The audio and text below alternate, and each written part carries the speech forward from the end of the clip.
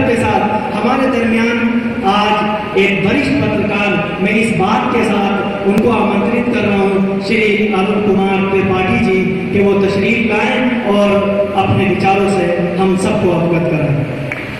بلبلے، ہنسی وہ گلستان ہمارا یہ سارا ہمارا چمن ہے، یہ باغیچہ ہے، جس کے اندر الگ الگ قسم کی کیاریاں ہیں۔ یہ مذہب جو ہیں، یہ ہماری کیاریاں ہیں اور اس کے پھول ہم سب ہیں۔ تو یہ اس وقت جو پیام انسانیت کے اس فورم کے اوپر ہم لوگ جمع ہوئے ہیں، اس کا صرف ایک ہی مدعا ہے۔ اور وہ ہے انسان کو انسان بنانا۔ انسان کو انسان بنانا۔ تو اس پورے پروگرام کا مقصد یہ ہے کہ ہم مانو ضرور ہیں، ہم انسان ضرور ہیں، لیکن ہمیں اس بات کو انالائز کرنا ہوگا کہ کیا واقعی ہم انسان ہیں۔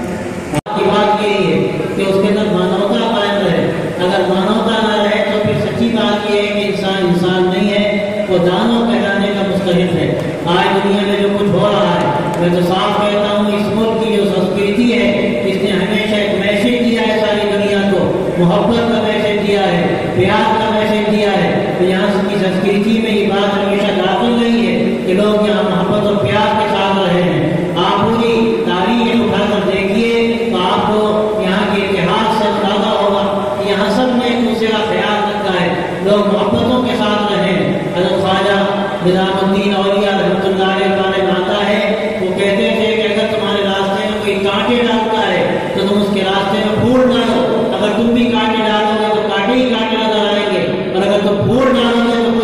کوئی کوئی تو کوئی وہ مہکے گی انسانیت ہونی چاہیے۔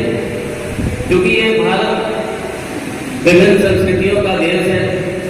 وبھن دھرم ہے۔ یہاں کی جو کہا جاتا ہے کہ بھارت میں گنگا اور جمنی کی تہذیب ہے، جس میں سبھی سمدائے کے لوگ، سبھی دھرم کے لوگ مل جل کر رہتے ہیں۔ ہو سکتا ہے کہ کچھ لوگ اپنے سوارتھ جیسا کہ ویکت کیے جائیں گے، لوگ آپس میں سے کریں گے تو نشچت روپ سے جو بھرانتیاں ہیں، جو آپس میں جو دوریاں ہیں، اس میں کو مٹانے میں بہت کچھ سہیوگ کر سکتے ہیں۔